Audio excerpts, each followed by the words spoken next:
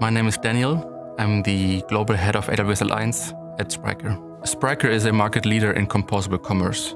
With Spryker, you have the chance to cover any kind of transactional business model you can think of, may it be B2B, B2C, marketplace, or unified commerce. So AWS Enterprise Support helped us to work on different kind of problems and issues. Right now on the market, there's a kind of general notion around being reassured in everything that you do and at the same time increasing operational efficiency to keep the risk low.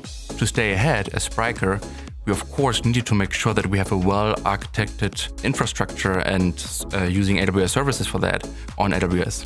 AWS Enterprise Support helped us to reduce our cloud costs by approximately 40%. The specific benefits we see with enterprise support is really to have a technical account manager and representative that helps us in basically weekly exchanges with our tech teams to work on a well-architected framework cost optimization, um, but especially also security and security posture of our company. We were able to basically reduce onboarding times of our customers to one to two days instead of months previously before working with AWS. Building on AWS for Spryker means many, many things.